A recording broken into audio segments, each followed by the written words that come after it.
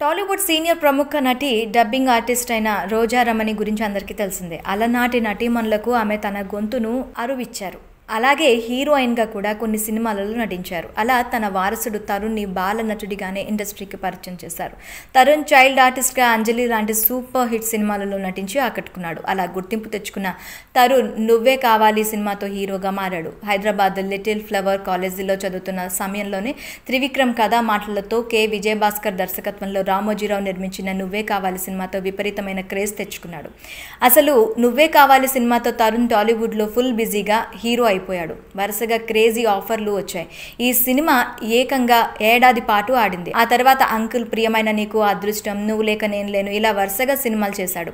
అయితే అప్పట్లో తరుణ్ ఏ సినిమా చేస్తే ఆ సినిమాలో నటించిన హీరోయిన్తో ఎఫైర్ లవ్ ఉందంటూ సోషల్ మీడియాలో ప్రచారం జరిగేది.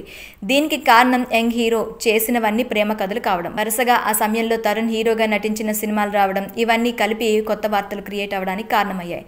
ఇక అదే సమయంలో ఆర్తి అగర్వాల్ తరుణ్ కలిసి నువ్వు లేక నేను లేను సోగ్గాడు లాంటి సినిమాలు చేశారు.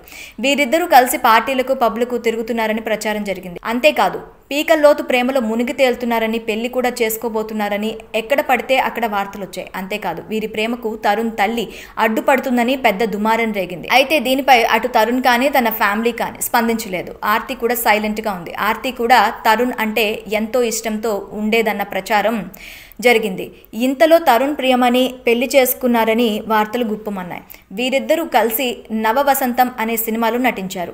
ఆ సినిమా సమయంలోనే ఇద్దరు ప్రేమించుకున్నారు. సీక్రెట్గా పెళ్ళి కూడా చేసేసుకుంటున్నారంటూ మీడియా వారు పెళ్ళి చేసేశారు.